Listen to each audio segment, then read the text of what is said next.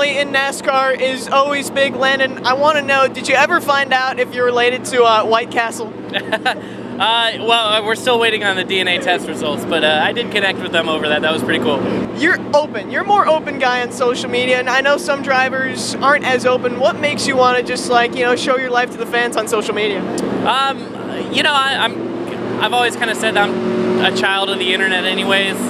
Um, so I mean, I've lived my life on the internet since I was a kid, since I had access to it. So it's not. I'm pretty familiar with you know managing my life online and and um, you know I enjoy it but uh, there's still a lot of stuff that doesn't doesn't make its way to the internet I know you're a big fan of Gary Vee what have you learned from him um, man he's you know he's a great motivator and uh, I've, I've definitely learned a lot about social media from Gary Vee and how to use it and where trends are and, and, and what to pay attention to but um, you know probably the biggest thing that Gary Vee preaches is that you kind of have to put in the work, uh, put in your own hours for yourself because nobody else is going to.